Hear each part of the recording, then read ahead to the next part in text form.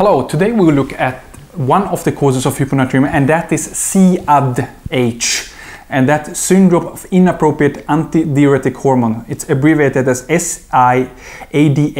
So it's syndrome of inappropriate ADH excretion. ADH is a hormone that will spare a lot of water. And when does it release? When the baroreceptors or the osmoreceptors in the brain sense that the concentration of the blood is low or that the blood pressure is low. So baroreceptors sense the pressure and osmoreceptors in the hypothalamus sense that the concentration of something is low in the uh, in the blood and that is usually sodium for example or potassium and any any kind of osmoles so any kind of molecules that increase the osmolality of the blood. So antidiuretic hormone will now be excreted extensively, so very, very much, and therefore this will then lead to hyponatremia. Why? Because uh, antidiuretic, it's against diuresis. It's uh, usually the usual purpose is to spare a lot of water, and if you spare a lot of water, then the concentration of the so the vol volume of the uh, of the water content will build up, which means that the molecules of sodium will be then decreased. So the concentration will decrease if you have a lot of water in your blood. And actually, there exists five types of syndrome of inappropriate antidiuretic hormone. The first one is when we have continuously high amount of antidiuretic hormone. The second type, so that, that was type A. We have A, B, C, D, E. The type B is when we have a reset osmostat, it's called. That's when the the threshold for the brain, so the hypothalamus or the baroreceptors, is decreased. So for example, the hypothalamus will now sense this osmolality at a lower level. So usually it senses it by 280 milliosmol per kilogram. And then when the level of osmolality will be increased, so it will be more than that, then it will then release this antidiuretic hormone. But in reset osmostat, that will be in a lower level. So it will be sensed at the lower level. So for example, uh, when we why is this happening? So when the concentrations, when the osmolality increase in the blood, so it's more than 280, then the concentration is too high and therefore the body thinks, okay, we need to dilute it. We need to add some water into this mix with uh, the concentration should be in the normal level and that's usually around 280. And when it's more than 280, then the antidiuretic hormone is released and it spares water in the kidneys and therefore the concentration then uh, will be normal again. And in, in this type B syndrome of inappropriate antidiuretic hormone, the, the, the osmostat it's called, so that it's like a thermostat. It's like when you have, for example, fever, that's the same thing, that the, the thermostat will be increased. So the body thinks that oh, 40 degrees uh, of Celsius is normal of course you don't feel it you feel fever but the, the body's thermostat was increased and the usual thermostat of the temperature is usually 36.5 for example and and it's usually below 37 and when the uh, temperature increases in the, in the brain then it can reach the body temperature can reach 40 degrees and then we call it fever. And the same thing here that the osmostat so the threshold where the antidiuretic hormone is released that's decreased and actually it's working so the whole system is working properly uh, everything is fine the only thing is that the thermostat so the osmostat is decreased, not 280, it's for example 270 or 260. And that was type B. The type C is actually when we have, for example, a persistently normal level. So the, the antidiuretic hormone level is in the normal range and we cannot change it. So regardless if we increase the pressure or we increase the concentration or we decrease it, doesn't matter what we do, the uh, the level will stay the same and constant. Okay, what is type D? Type D is when the kidneys are damaged. So there, there are, there's a mutation, for example, in the V2 receptors of the kidneys, and that will then lead to a very high concentration of urine. And we know that in syndrome of inappropriate antidiuretic hormone, uh, this is very, very common, that the urine concentration is high. For example, the sodium concentration in the urine is high.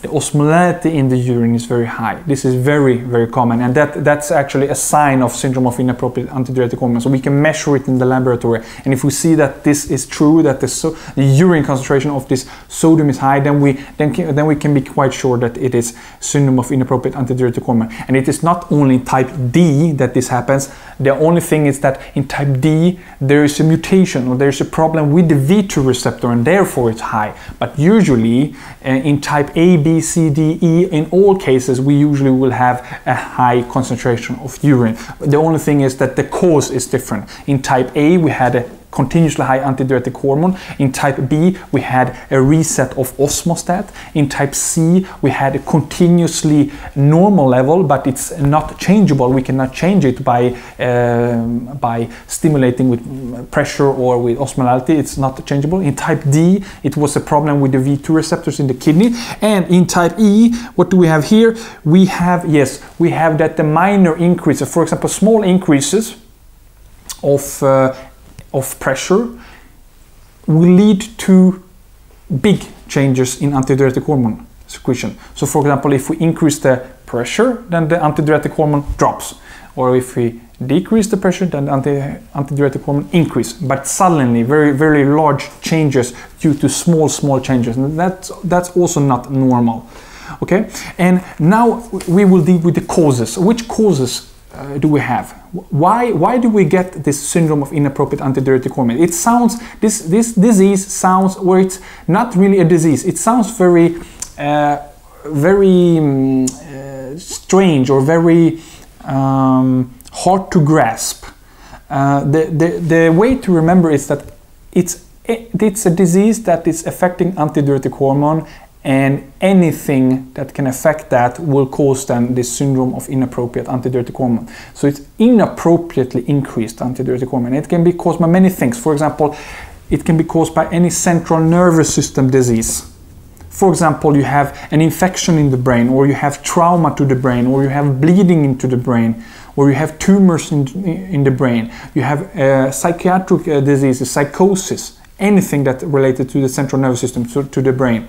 You also can have uh, tumors in the lung, for example, small cell carcinoma. There's also HIV infection can cause this. Also drugs many, many drugs. I will not list them all, but I will mention some of them. For example, haloperidol can cause it. Amitriptyline. We have carbamazepine. We have chemotherapeutic drugs like vincristine, vinblastine. We have usual drugs that we use every day, non-steroid anti-inflammatory drugs. We have opiates. There are certain methotrexate immunomodulatory uh, drugs like methotrexate or imatinib so as you see, there are a range of medications that can cause this. Even cardiac uh, medications like amiodarone or antibiotics like ciprofloxacin. So as you see, I didn't mention all of them, but as you see, many of them can cause this. And this means that if you want to treat this disease, first of all, look at the medication. Take a list from the internet or from a book textbook, look at the list of medications that can cause this syndrome, and then try to remove that. If you remove that, then hopefully this, this syndrome will disappear. That's a very quick and easy step to do. And as we said, we had tumors in the in the lung, small cell carcinoma, but we also have lung infection can cause it, pneumonia, viral pneumonia or bacterial pneumonia or even tuberculosis. Surgery can cause it also, especially transsphenoidal pituitary surgery and any type of surgery because the surgery is a big stressful event because stress can also cause this syndrome. So when you have a lot of pain in surgery that can cause this syndrome. So as you see this syndrome have many causes and therefore you need to find the cause and you need to attack that cause. You need to treat that cause because that's the most effective way to treat any disease is to attack the cause of it. And of course, if you don't know the cause, then you have a problem. But if you know it, then please try to solve that. But otherwise, we need to give sodium. And it's, and it's very important that you don't give 0.9% saline so, uh, solution. So it's a, it should be 3% saline solution. And why? Because if you give 0.9% saline solution and the urine concentration is so high, so the sodium is excreted so intensely, then actually you will get a worse hyponatremia. You will get a lower amount of sodium. So if you try to give sodium with a very diluted solution, with 0.9 is very diluted, it's too much water and less and too less of too too small amount of sodium, then you have a problem because you will you will release a lot of sodium because the urine urine the kidneys are excreting a lot of sodium and therefore it's, it's not working. It's, uh, you need to add 3% saline. And actually, I made some calculations. So if you look at the calculations that I made here, I've written them down here. I want you to remember that 0.9% saline consists about 154 millimole per liter. And 3% saline consists of 513 millimole per liter. And if we take a guy here who has a level in the blood which is around 120, that's pretty severe because we have uh, severe level is below 120. And if we have this guy 120 millimole per liter, how do we know how much sodium he has in his in his whole body? We need to uh, uh, calculate how much liter of water he has. And we know that 60% of the body weight is, is water. So if we, if we have a guy who is 100 kilogram large and, uh, and we have 60% of that is water, then we have 60 liters of water. And the concentration of sodium is 120 millimole per liter. So every liter has 120 millimole.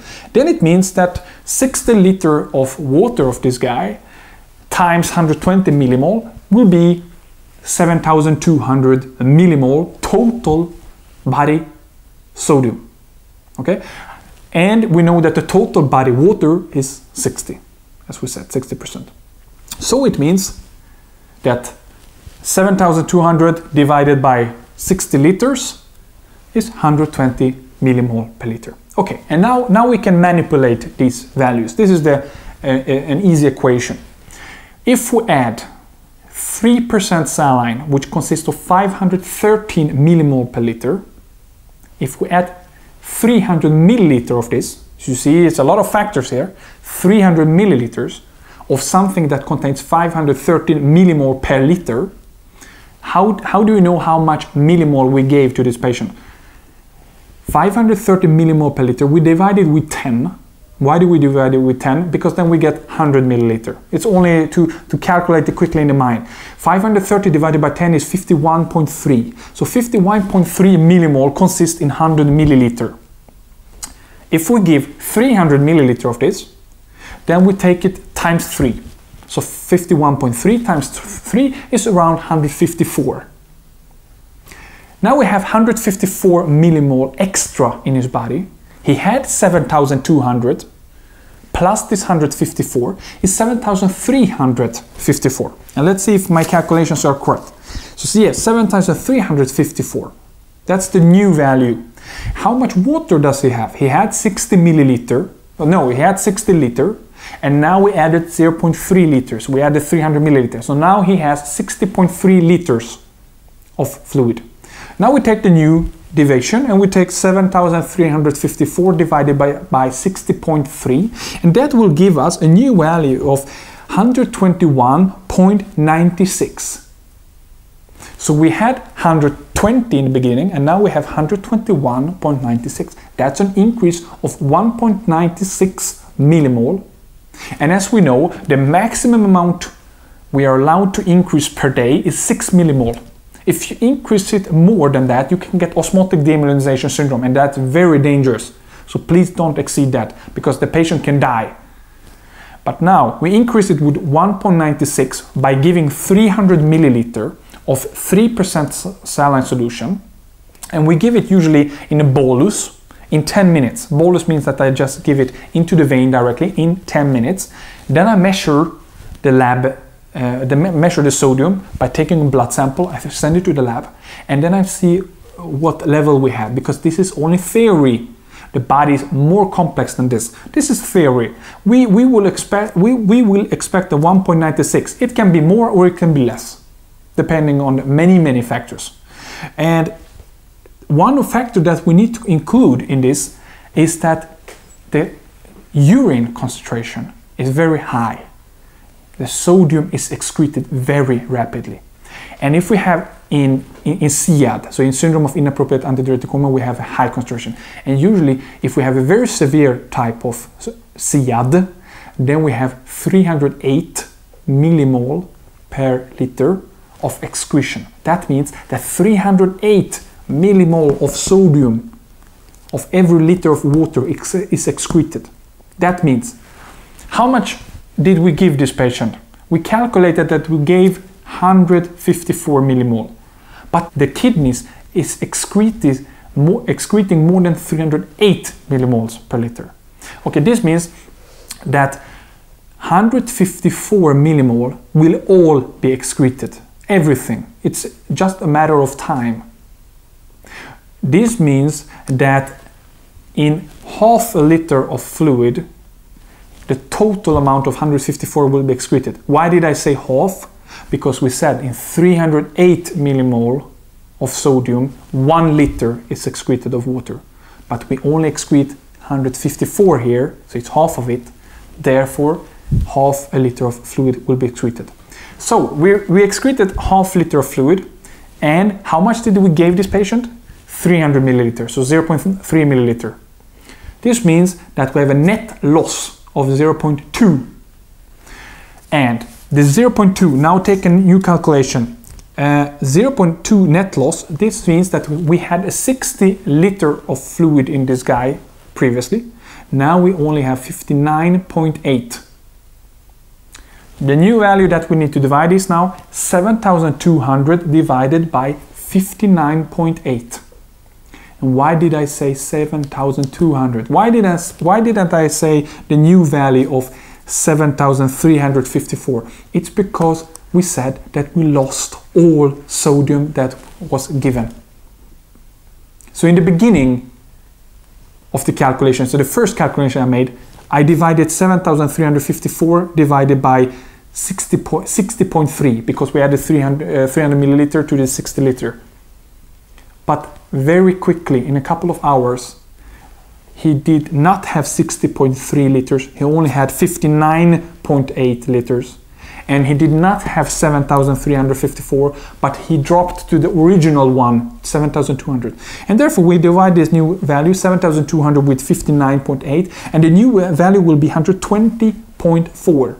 That's only an increase of 0.4 compared to 1.96 that we had before. So you see, reality is that we increase the sodium quickly in the beginning and then with time it dissipates. It gets 0.9 and therefore it means that we continuously every day need to co control the sodium level and we need to we need to add sodium level. That's very important. And one more important thing is that that if you treat the cause, for example, let's say one of the medications caused this syndrome, then what happens is if you correct it, if you stop that medication, then the sodium will get into the normal level, which means that you should watch out. You should not give so much sodium because it will auto-correct, we call it. Because it will correct automatically if you correct the cause of it. And therefore you don't need to give any sodium.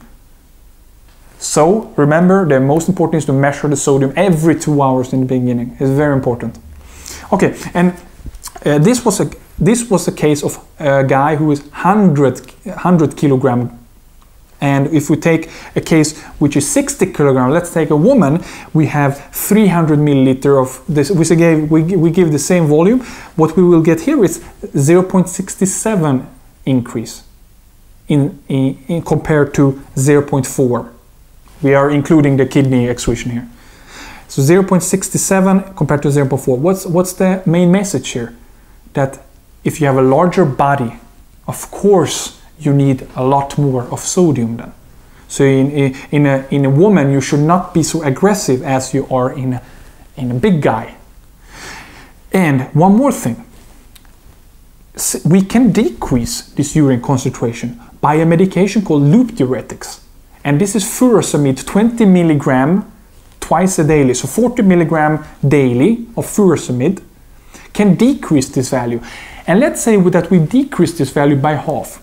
Before we had 308 millimole per liter excreted of sodium from the kidneys. Let's give you loop diuretic. We will decrease it to half, to 154. Now let's see the values. I will just tell the values because I have already calculated those. I don't want you to uh, go through the whole calculation again. So, the same case of 100 kilogram um, guy who gives, we, we give 300 milliliter of this hypertonic saline solution, instead of having an increase of 0.4 that we had in severe SIAD, now after loop diuretics, we will have an increase of 1.42. What's the main message? We have a three times more increase just because we gave loop diuretics, because we, de we decreased the concentration of sodium that is excreted, and the whole formulas will be then different. The same with the woman. Uh, we had 0.67 increase in, in high concentration of urine, and we have a 2.38 increase in a lower one when after we gave loop diuretics, and that is that is four times more. So you see, it's very important that you give sodium and you give a loop diuretic if the concentration of urine is too high and you cannot you cannot really increase the sodium level. And then what we'll do, we said we gave boluses of 100 milliliter. We will only give it three times these boluses. And if this does not work, then we need to uh, then we need to give it continuously. So we will make, for example, a continuous infusion to this patient of let's say 20 milliliter per hour of this 3% saline solution every hour. Then it will be given, and we measure the sodium every two hours, and we will see the change. And usually symptoms disappear after four to six millimole of increase. So it's very important that we divide patients into those with acute types, chronic types. Acute are those that got this hyponatremia in less than 48 hours, and those who got it more than 48 hours, those are chronic. So also important that we divide the patient into those who have symptoms or not, and it's also important that we divide the patients into severity, so it means that we have mild, moderate, or severe. Mild is when we have 130 to 134, moderate is when we have 120 to 229, and, and severe is everything below 120. And why is this important? Because in severe cases, which means less than 120, and in those who have very severe symptoms, coma, seizures, respiratory failure, in these cases we need to be more aggressive, and especially in acute types, which uh, appears less than 48 hours. In these cases, we need to be aggressive. In chronic types, we need to be less aggressive because we can get this osmotic demyelinization syndrome if we give a higher uh, increase than 6 millimole per day. But as we saw, it's, it's, not so, it's not so easy to get to the 6 millimole per day if you have SIAD, if you have this high concentration of sodium in the urine then, then you need to then you need to give so much to just compensate for this high amount of urine concentration. The other thing we can do is to restrict water. So we will not allow the patient to drink more than 800 milliliter of day per daily. And the other thing we can do, of course, is that after the hospital, so when we treat it in the hospital and the level starts to become in the normal level, then we can uh, say that the patient needs to take oral salts so so he needs to be eating, for example, three grams of salts. These are tablets, so you, they're not table salts. It's tablet three gram and three times daily, and it's a total of nine gram. And this usually contains also 154 millimole. It's the same the same amount that we had in the 0.9 saline solution. And also, if this does not help, then oral urea can be uh, be given. And that sounds very um, yeah, not, not so not so not so tasty. It's actually very bitter, and we will give 15 gram uh, daily. And this this is the last thing that we can do. So first in the hospital we give infusions, and then we give oral salts, and we tell the patient to eat a diet high of proteins and a little bit higher of amount of salt. We know that salt is not good due to high blood pressure, but in this case, uh, when we're talking about life or death, because the patient can get cerebral edema and he can die, then blood pressure is not the most important thing to treat here. The most important to treat is the hyponatremia. So please add some salt uh, to this patient. And that's pretty much it. So in order to conclude SIAD, I want to tell I want you to remember that we have five types. And depending depending on which type we have that that's the only uh, the only thing is that the mechanism is different. It's not really important for the treatment itself okay? And then we have causes. This is very important. We said that you need to take a list of the all the medications that the patient has and please list those and then we have surgery. If the patient had a surgery then that can be the cause especially transsphenoidal pituitary surgery. Also we had hiv infection. We had lung tumors like small cell carcinomas of the lung. We also had uh, uh, hormone deficiencies can be seen, for example, in hypothyroidism or hypopituitarism. That can be th these can cause this, and any type of central nervous system change like tumors, bleeding, trauma to the brain, psychiatric psychosis, for example, all this can lead to um, SIAD. And also, not only tumors of the lungs, as we said, also lung infections like pneumonia and tuberculosis. So if you know the causes, then try to uh, treat the cause. If, if uh, you don't find it or if uh, it does not work, then you need to add uh, sodium. And as we said, add this 3% saline solution. Never add 0.9% because you will actually get the worst value and that is because of the high urine concentration of sodium. And we, we made this whole calculation so please calculate this at home. Remember that the total body water is 60% of your body weight and remember that you only you take this liter of fluid that you have in your body and you take that times the concentration of the sodium that you have and then you get the total amount of sodium and then you can start to play with this. And because the 3% saline contains 530 millimole per liter and the 0.9 only contains 154 that's it. Thank you very much for listening